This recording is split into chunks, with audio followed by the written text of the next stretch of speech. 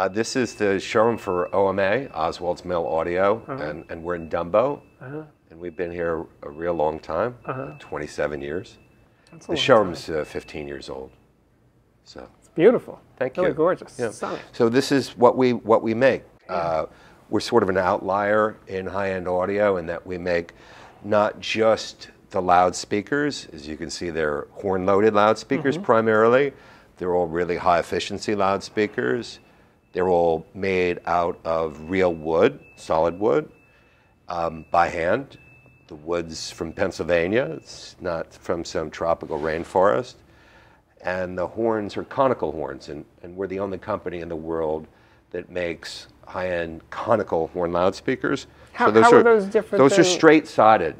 So like that horn over there is, is, is sort of looks kind of like a squished oval. Uh-huh. It's called a stadium, actually, that shape. Okay. That's conical, meaning the sides are straight. You can put a ruler in there. And these are round and that's square, but they're all conical, so they're straight sided. And all the other horns are curved. Right. And, like an avant garde. And they, avant garde, Cessaro, acapella, they're, they're all curved. So, and all the horns in PA, uh, they're all curved exponential, hyperbolic, parabolic, tractrix, Le Cleac'h, lots of different flare names and, and flare types. They're all curved, these are straight, they're all totally different from this. The sound, the physics, the way the, the wave leaves the horn, and most importantly, the way it sounds, hmm. the way it operates with what's called constant directivity. So we make the speakers, and then we make the amplification Yeah. for the speakers, which is low powered triode tube amplification. So the range of amplifiers we make, they're all two chassis minimum design. So the power supply is on one chassis and the signal's on the other, for example, on this amp. Now that's quite unusual because the industry works on monoblock designs, which is Right. actually a big mistake. Um, you want to have the power supply isolated from the signal. Monoblocks goes back to when mono went to stereo, and you went down to your you know your audio dealer and said, "I need another one," and they were very happy to sell two, two of the same thing. Okay. Um, I once had a nice conversation with Chip Fisher, who was Avery Fisher's son, and he said that his father was so happy when stereo came out because he got to sell twice as many amps. Um, so this is a 10 watt amp, for example. This is a s- same amp but with different tubes, and that's the medium power amp we make. This is the lowest powered amp, still two chassis. This is only two and a half watts. Um, we use also tubes that no one else uses, uh, and we do that for a reason, but that's a long story. This is what you'll be listening to. This is the biggest amp we make, and this weighs over 200 pounds, and still it's only an 18 watt amp. Okay, so we make the amplification, we make the phono stage, the preamplification. Al- al- Also, the amps are all integrated in the sense you don't need a preamp. So they- they're big, they're expensive, but you don't need a preamp. They have enough gain. They have the gain built in. Why do we do that? It's actually really simple.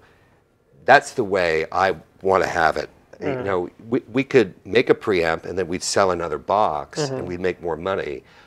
But that that sucks as an idea. That's a really bad way to do it. Hmm. It's better to put everything into the amplifier, cables, the whole complexity of it, the gain architecture. Uh, so we're kind of like not doing things the way the high-end audio mm-hmm. industry does it. Mm-hmm. Then we make the source in, in the sense of we make analog, we make turntables. So this is the newest thing that we're doing, which is the, the Technics, the new Technics SP10R, which is really the world's best direct drive turntable right now in this 150 pound cast iron plinth system that we make.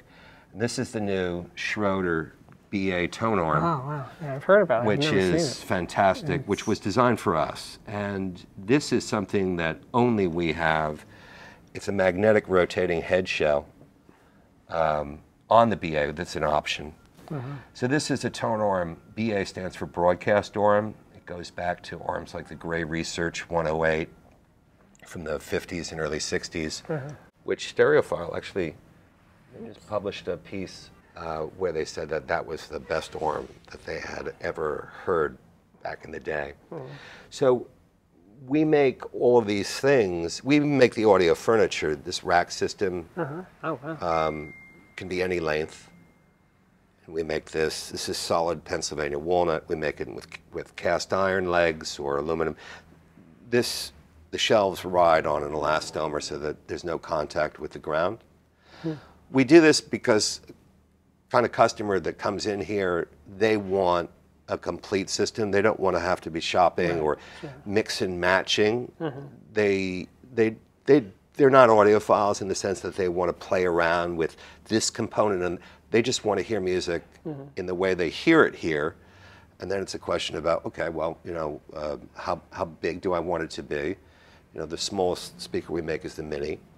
Then you have the monitor, which we also make a professional studio version of, and all the way up to this, which is the biggest thing we make you know, the, uh, the Imperia, which is a, it's a big system. Yeah. Um, you know, it's, it's kind of like you go to a Savile Row tailor and you say, uh, I, would like a jacket, please. And they, they measure you and they, they give you the jacket in exactly the right fabric and mm-hmm. fit for you. Mm-hmm. But you might say, well, I, I want an entire wardrobe. I want the shirts, I want the pants, the socks. And you, you don't have to worry, does it all work together? Right. It's done It's done. Yeah. Down to the cables, down to the, the cartridge, everything.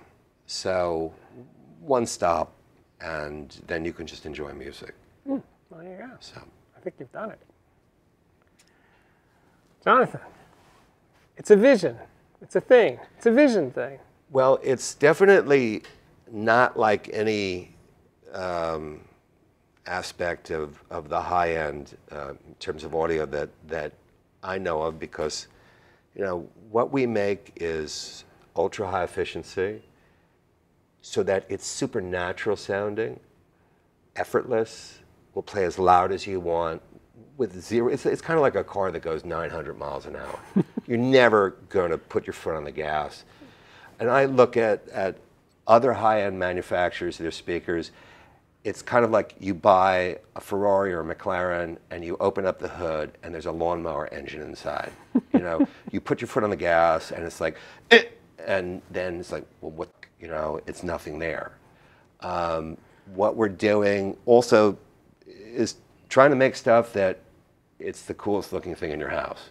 Because if it's this big and it's this expensive, if it's not the coolest looking thing, right. we're, we're dead, okay? You know, if if this thing is not playing and it's in your living room and you don't love it, and people don't come in and go like, I want to hear that. Right. We don't. It doesn't work. Mm-hmm. So, you know, it's all of a piece. It's about acoustic engineering. It's about the sound that that produces, and then it's about the craftsmanship, the materials, the natural wood, the slate, the cast metal. All, all that in an industrial design that you want to have you know, as a piece of, mm. of hmm. design, or I never use the word art. People use the word art with our stuff, but it's it's really it's really good design, and its form follows function. You know, if you look at those speakers there, yeah, th- these speakers are a really good example. So people look at this and they go, "Oh, like you know, you made a you made like a butterfly thing." Well, the way this speaker started out in the 1920s, motion picture theater speaker systems, they were challenged. They had to produce a lot of sound with very little power. Absolutely. And the way they did that, one way they did that was, well, horn loading everything. And the other way they did that was by sticking big wooden baffles next to, you know, okay. attached to the speakers, which huh. basically produces a, a larger source and, and, increases the efficiency, especially for low low frequency. Mm-hmm. So we wanted to make a speaker with two 15 inch woofers has a huge hit at 100 mm-hmm. hertz. Mm-hmm. There isn't anything like this. These are identical woofers. Um, there's no speaker like that made today in the high end. And then we, we wanted to use baffles to further increase the sound source. And my industrial designer, who knows nothing about audio, we gave him the bill, said, look, okay, here's how big these baffles have to be. And he said, well, can they be this shape or this uh, shape? Uh. And the result was the speaker. He said, well, can I make it like this? And I said, well, at these frequencies, The sound doesn't see those shapes, so yes, you can do that. Mm-hmm. And the result is this, which you know people could look at this and th- say, well, you did that for a decorative reason. Well, no, we did that because of acoustical engineering. Mm-hmm. So if you take those those wings off, the speaker sounds completely different. Doesn't sound as good. This is a speaker that I, I've gotten tired of trying to explain what the hell's going on with this thing because no one takes this seriously, right? They, It everything thinks, oh, how nice. You made a sculpture and you put speakers in it. Like, But it is- wow. You but know? is really And they, they're like, really? And you drop the needle on, a- on a record, Uh-huh. uh, and people go like, oh my, oh my God, I've never, I didn't even know that was possible. So they are cast iron. They're cast iron. They're a Hence the quadratic diffuser. The shapes and the, the size and the form of the shapes, uh-huh. it's a quadratic diffuser. Uh-huh. You see those in studios on the walls, on the ceiling. They're designed to break up sound waves, to diffract and diffuse the sound wave. They're, they're doing that in a studio to break up a reflection on a wall. Hmm. Here, they are functioning in that way as the sound launches from this baffle surface, which is a wide baffle, unlike speakers today, which are all these narrow Yeah, yeah, yeah. things, very bad. Right. Don't do that. Bad, Bad idea, Bad, bad. bad. Wide. Then the sound wave sees these shapes and Mm-hmm. diffracts at 500 pounds per side. This is not vibrating. No, That's good. that's good. Inert. So what you have is, and this is a, this is well over 100 dB, one watt, one meter. An ultra efficient open baffle speaker that is incredibly lifelike. With the you know this is really the world's With a ribbon tweeter. With a huge custom made ultra high efficiency ribbon tweeter. Uh-huh. It's made for us in Serbia. That's like uh, I think it's about 110 dB at 10k Yikes. which is you know crazy. Um, without this, this couldn't exist. This is an amazing. People like Ben Folds. This is like what this is what he. This is his favorite. Yeah. Okay. Uh, So you know, it's very confusing because you see pictures of this stuff, you see it online, you go like, oh, that's the company that makes the cool looking stuff, but you know that can't sound good because they can't possibly make it sound amazing and look like that. I hear that all the time from audiophiles. It's like, oh, we have to have the ugliest box because if you spent $100,000 on a really ugly box, it has to be really good because who would be stupid enough it's like to buy Smucker's, uh, a hundred thousand dollar ugly thing that doesn't work well. with a name like Smucker's, it has to be good. Well, there's there's there's a lot of schmucks in this world, okay, and and so um, all of our stuff is is really acoustically engineered first. Then we try and figure out how to make it look like something that you want to have in your house. yeah, the art of sound, so, to speak. Yeah. I keep resist. away from the A word. Sorry. I keep away from the art. A word. Okay. Well, you know, people confuse art and design. Design, the difference between design and art is design has to function.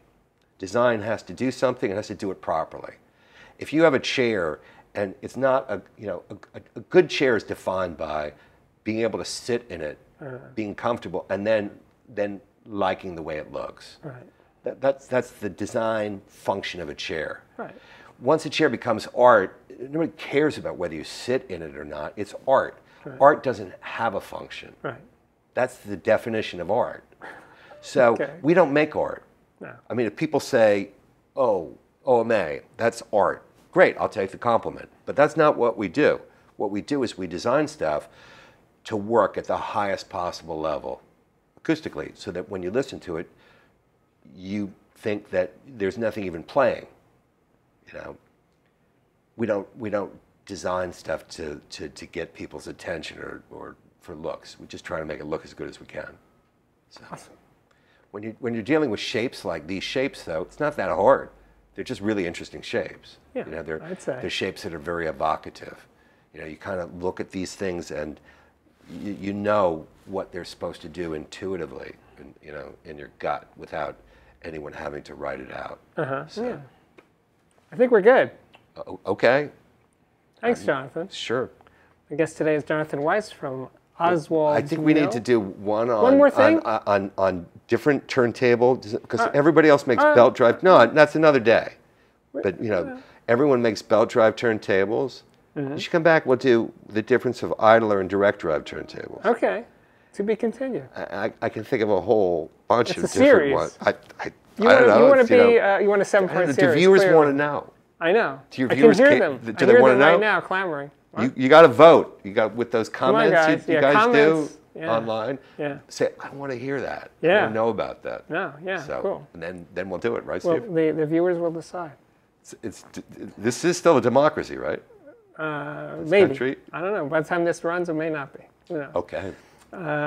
anyway. All right. Well, I mean, happy to oblige. All right. Thanks, Jonathan. My name's Okay. Steve Guttenberg. This is the Audiophiliac Daily Show coming to you from Dumbo, Brooklyn. See you again real soon, guys. Bye bye.